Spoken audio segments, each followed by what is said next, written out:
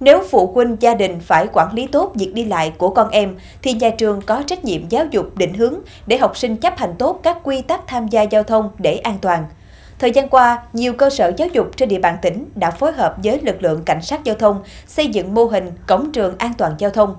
Kết quả mang lại là cải thiện được ý thức của học sinh và làm giảm đáng kể tình trạng ủng tắc giao thông trước cổng trường.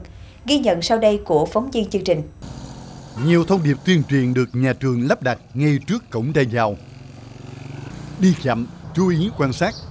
Những lời nhắc dẫu khá quen thuộc nhưng có tính cảnh báo cao cho các em học sinh lẫn giáo viên, nhất là vị trí của trường Trung học phổ thông Lê Dung Ba nằm dọc theo quốc lộ 54.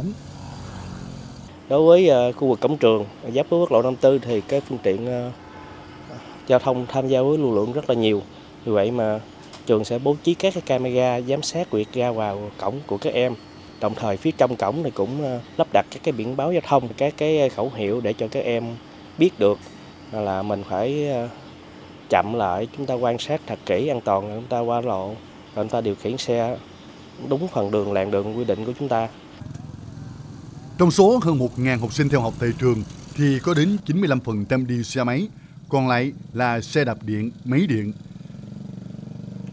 Để quản lý chặt chẽ việc đi lại của các em, nhất là phải đủ độ tuổi để điều khiển xe dưới 50 phân khối.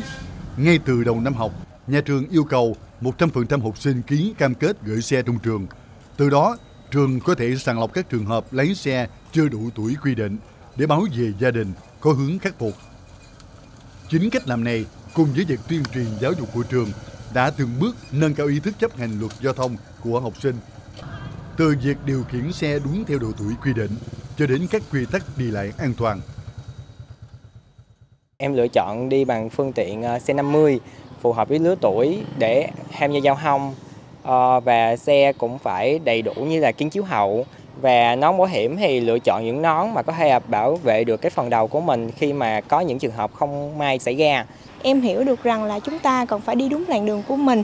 Và ví dụ như là em chạy xe đúng uh, dung tích xe của mình là 50 phân khối. Và cái thứ hai đó là khi mà mình băng qua đường thì mình phải uh, dòm uh, dòm trước dòm sau rất là quan sát rất là kỹ.